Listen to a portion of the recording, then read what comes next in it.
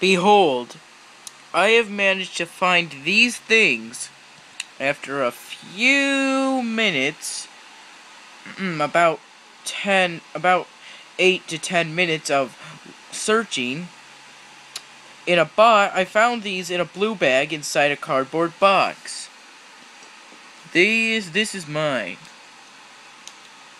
Allow me to open them up for you. Yes, sir. These I got from Lunchables. I, I, I have no idea when exactly I got these, but my best guess is some is probably in the summer of 2010. That's my best guess. I have no idea when exactly I got these. But they're now a vintage part of my past. And these rings. Let me tell you about these rings. I most likely got these from cereal boxes, but that's a serious doubt.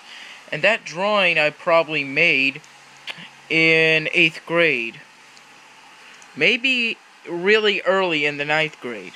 And this hamburger guy is probably at least a year old. So yeah, here's to recovering my past.